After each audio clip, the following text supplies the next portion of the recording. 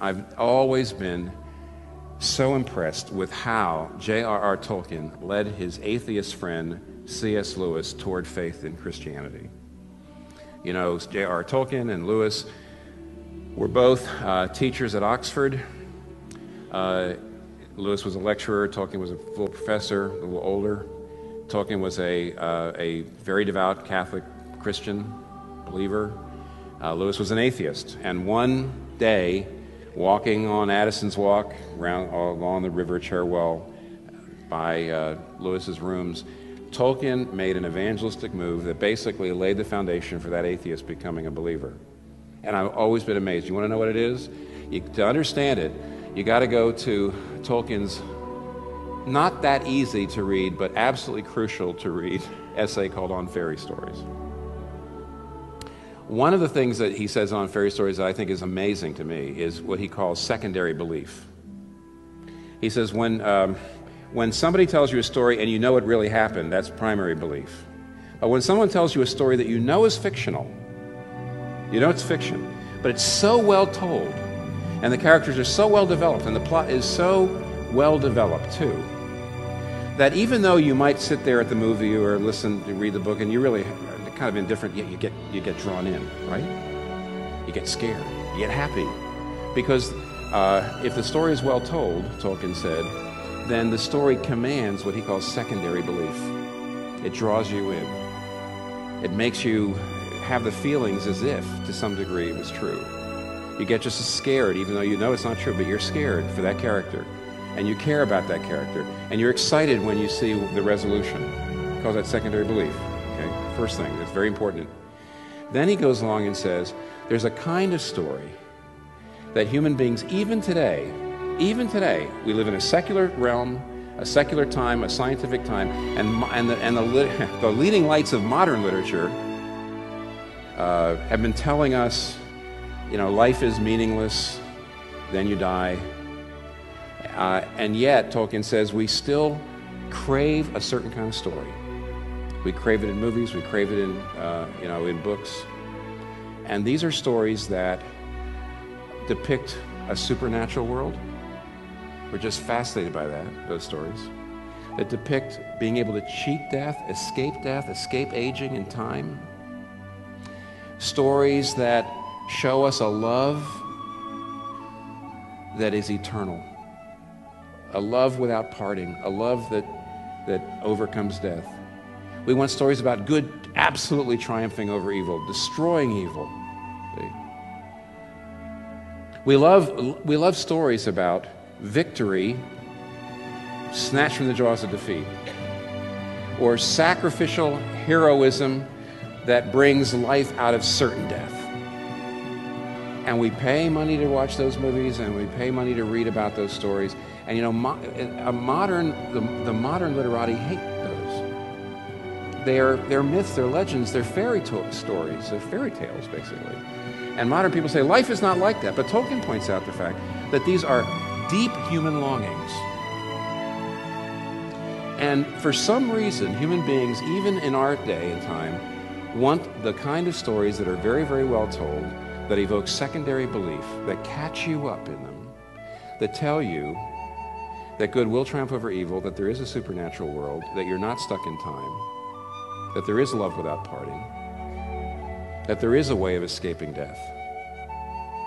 Now, Tolkien said, why would people still feel this way? Now, what Tolkien's about to say here, I can't prove from the Bible, but it fits in with the Bible. He says, We're made in the image of God, but we're fallen.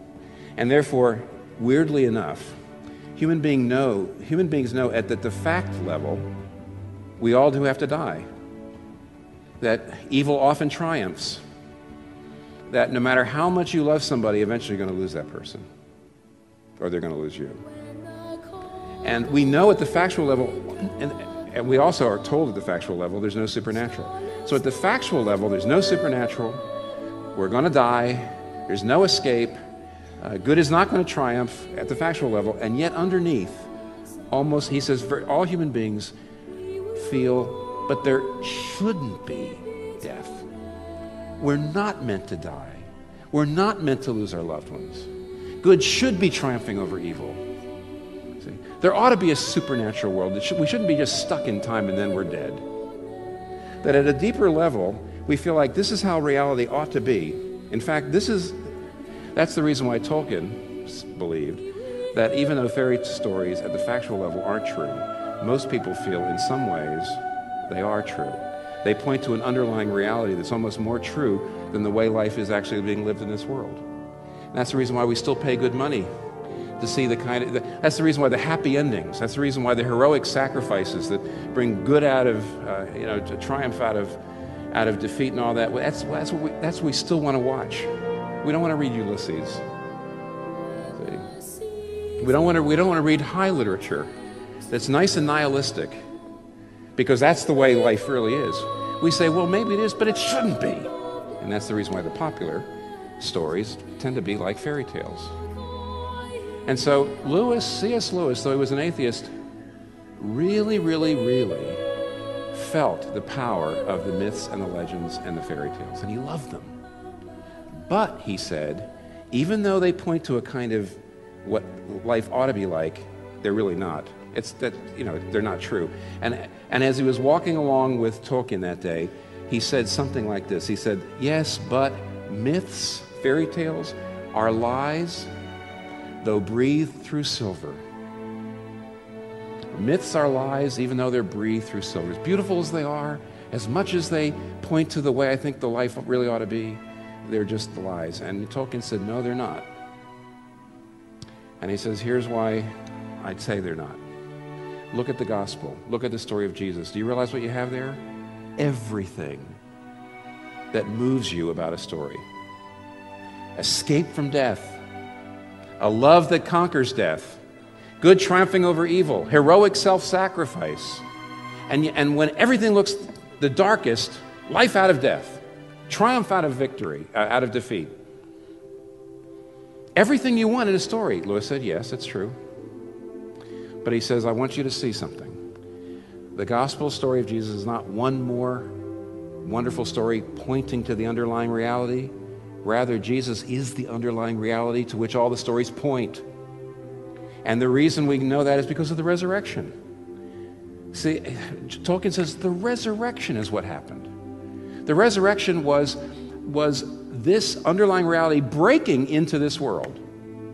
And the way life ought to be and the way life is, Jesus Christ is our great captain. He's opened a cleft in the pitiless walls of the world. He's opened, he's punched a hole through that concrete slab between life as it is and life as it ought to be, between the ideal and the real.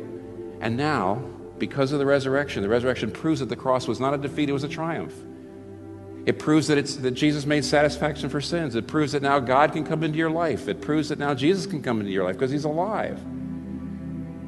He says, take a look at the evidence for the resurrection. He basically said that. The resurrection means that Jesus is not one more beautiful story that makes you feel good for a while, and then the lights dim and you walk out into the real world. Jesus Christ is the underlying reality to which all the stories point, breaking into our world. And that's the reason why there's a place where uh, in the fairy tale, in this, on fairy stories, Tolkien says this. He says the peculiar quality of the joy in a successful fairy tale can be explained as a sudden glimpse of an underlying reality. But the Gospels contain a story of a larger kind which embraces all the essence of those wonderful fairy stories. The Gospels contain the greatest and most complete conceivable eucatastrophe, which is the good catastrophe. The catastrophe is the old Greek word for a world changing turn. He says, The story of the gospel has entered history and the primary world. The birth of Christ is the eucatastrophe of man's history. The resurrection is the eucatastrophe of the story of the incarnation. The whole story ends in joy. There is no tale ever told that men would rather find was true than Jesus' life, and none which so many skeptical men have accepted as true on its own merits. Emile Cailliet was a professor of philosophy at Princeton Seminary, and he tells a story of how he actually found faith. He was an agnostic, uh, in, uh, went off to World War I. Uh, he was an agnostic, he didn't really believe in God, He was into philosophy. He was kind of skeptical about the whole idea of religion. But during World War I, he, like, he had an experience like a lot of other World War I people. He actually had, one of his best friends was talking to him right next to him about his mother, died like that with a bullet in his chest. Later on, a bullet hit him. He was in the hospital for a while. And he realized, even though he was an agnostic and he still wasn't sure if he believed in God, he realized that uh, to really make sense of this world and this life, he was going to need more help than just his skeptical philosophy. So he started reading poetry, and he started reading books, he started reading things, and every so often he would find a passage in this book or this writer or this author that really seemed to make sense to him. And he said in his, uh, in his, this account, he said, I began, to say, I began to long for a book that understood me. I began to long for a book that understood me. And he came up with an idea. He bought a, a leather bound little diary, blank place, and he said every single time he read something that seemed to make sense to him and help him, he was going to copy it down. And after about a year, he hoped that he would someday sit down and open it up and read page after page, and I'd finally have a book that made sense of my life and made sense of the world and gave me the joy I was looking for. And after he worked on it for a year or two, one day he went out and sat under a tree and got his book out. And as he read it for the first time, you know, just to read it through for the first time, he was deeply disappointed. He realized he'd already changed. And so some of the things that really hit him a year ago didn't hit him anymore. And he realized that this was, he, he himself was a moving target. That any book he compiled or any book he wrote would be sort of like a gun pointed here, and then he would move. And he said, I realized I was never gonna, he said, I was never going to find a book that understood me. That very day, as he was sitting under the tree, his wife was out walking their little infant child, and along the way had, had talked to a French Huguenot uh, pastor who had given her a, a Bible in French. And they didn't have a Bible in the house, and she thought it'd be a good idea. Brought it back, and he saw it, and he said, Give that to me. And he began reading the Gospels. He said, I read all night, almost all night. And I actually realized as I was looking at the one the Gospel was written about, that here finally I have a book that's alive and a book that understands me. But it's not just a book that understands me. He went into the Word of the Lord to find the Lord of the Word, Jesus Christ. The true story of Jesus. That's what the world needs. That's what you need.